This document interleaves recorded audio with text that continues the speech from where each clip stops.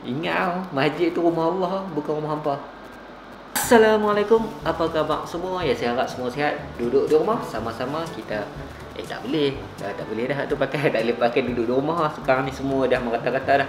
So kita jagalah keselamatan dan kesihatan masing-masing. Okey.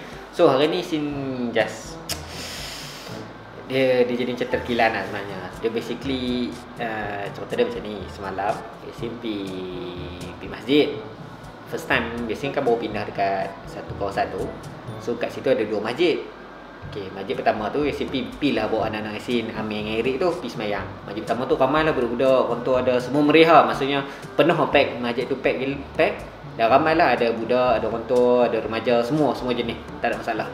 Dan yang jaga Mas Sejahtera Yang so scan tu budak-budak kat tepi dia So semayang macam okey lah Eric biasalah Eric budak Duduk kat tepi. Yang Amir tu semayang tak apa. Lepas tu macam Tiba-tiba Amir kata Daddy nak balik lah Dia nak mengaji kat rumah lah. Tak apalah. So Yasin hantar lah balik. Hantar balik Dan Yasin pilih lah satu pergi masjid Sebab dah test dah semayang masjid ni Macam best lah. Okey lah Macam tak apa tepi masjid di Kodo Nak solat terawih So Yasin jalan dengan Eric Dah pakai motor Jalan dengan Eric. Jalan punya jalan Baru nak masuk Nak buka slipper Dia macam Oh stop stop Oh dia kata Oh ni tak boleh masuk. Budak-budak tak boleh masuk ni. Ni ni kecil tak boleh masuk. Ha tak boleh? Ha tak boleh tak boleh.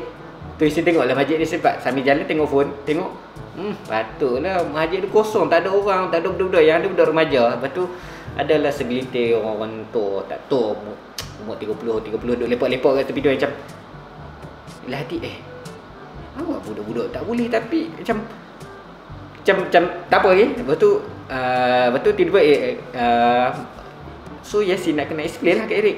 Uh, Eric kata, uh, kata Eric tak boleh masuk ni, masjid tak bagi. Eric boleh cakap gini Tapi Eric kan dah pakai mask. So Faham tak? Macam mana kita nak explain?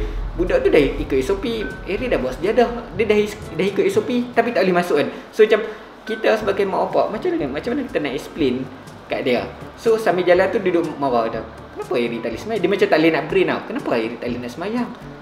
So macam Lepas tu apa boleh tengok lah video kat video ni Eh Apa dia Eric Kenapa tak boleh masuk? Kan, patutnya surau semua orang boleh masuk kan? Uh-uh. Budak kecil ke, budak besar ke, budak tua ke, semua boleh masuk kan? Uh-uh. Tapi dia tak bagi masuk? Uh-uh. Apalah masjid, masjid macam ni kan? Uh-uh. Ish, ish, ish. Tu dia apa tak boleh masjid? Baik tak jadi masjid kan? Uh-uh. Baik, baik. Tempat orang tua-tua kan? Ya, balik. baik, dia balik. Jom, kita balik lah. So, hampa tengok video tu. Sedih kan? Macam mana kita nak bagi tahu kat budak macam uh, sekarang tak boleh mayang uh, budak-budak tak boleh so tapi dia akan kubik kenapa masjid lain boleh so so kat kat sini ya si ya si nak si nak macam tu rumah Allah kot bukan rumah kita nak halang-halang orang eh sepaham lah mungkin hampa risau budak-budak bising kacau. Hampa lagi risau budak-budak bising kacau hampa solat daripada budak-budak taman faham tak? Cukup-cukup lah pandemik ni. Kita dah belajar banyak dah time pandemik. 2 tahun ni kita belajar masjid dah kosong hanya boleh main AJK je. Berapa kerak je boleh main-main dengan mayang jarak-jarak. Sekarang dah boleh rapat soh apa semua rapat jadah apa semua bagai. Still nak halang-halang benda-benda gini. Benda-benda yang kata budak-budak tak tahu lah. Mungkin pengurusan masjid tu sendiri kot yang problem. Yang ya si harap pengurusan masjid hampa kena keluar pergi tengok masjid-masjid kat luar sana. Kalau tak boleh luar negara main dalam Malaysia pun cukup.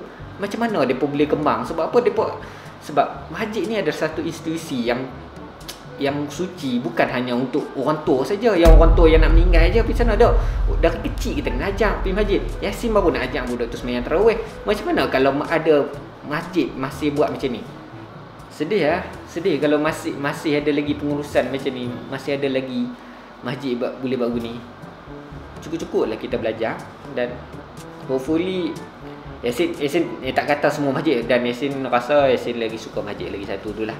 Dia jadi macam aduh dulu Yasin dah pernah kena dah yang Yasin berapa tahun lepas 2017 Yasin dah tidur kat masjid tu Yasin musafir. Yasin tidur sat baring lah baru baru balik baru balik event nak tidur sat sementara tunggu ada orang nak ambil kan. Duk bareng dari pakcik duk main ambil kain. Hoi bangun bangun bangun tak boleh tidur sini. Ha tu tak macam cerita lah. Ha tu, ha tu lagi beban kan. Tapi ni nak main budak nak main terawih kita yang lama-lama dah lama tak main terawih kita nak ajak nak bagi budak-budak kenal. So ham, apa bu? kalau bayangkan kalau semua orang tua dah mati, siapa nak nak imarahkan masjid tu? Kau kalau bukan budak-budak muda ni.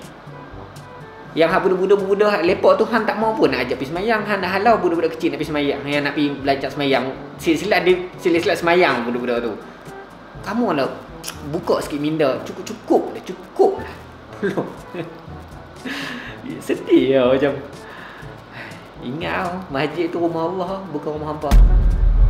Itu saja kot daripada Yasin. Semoga dapat something dan kalau hampa ada pun nak komen ada pengalaman pergi masjid yang kena halau hampa boleh komen lah kat bawah ni. Hopefully dapat benda ni bu- bukan nak kita nak maki kita apa dah kita macam tolonglah buat takkan tak boleh buat something kot. Ha, at least buka mata, buka minda, buka otak apa kan. Mungkin tak tahulah, tak tahulah apa berlaku. Saya pun tak tahu apa berlaku lah kat masjid. Okey, itu kot video daripada Yasin. Jangan jangan lupa like, komen dan share video Yasin. Semoga bermanfaat. Bye. Assalamualaikum warahmatullahi wabarakatuh. Ya.